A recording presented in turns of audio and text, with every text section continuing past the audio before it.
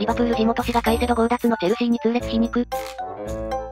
リバプールの遠藤航は、26日に開催された EL のブルーズ戦で躍動。得意のヘッドで勝ち越し点を奪えば、ボールダッシュや前線への配球でも貢献した。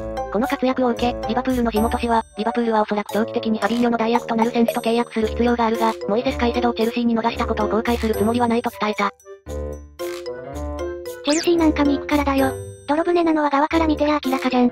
俺が親なら息子がチェルシー行く言ったら絶対反対するくらい落ちぶれてる。カイセドはもともとチェル好きだからフィットする云々の話じゃないんだよな。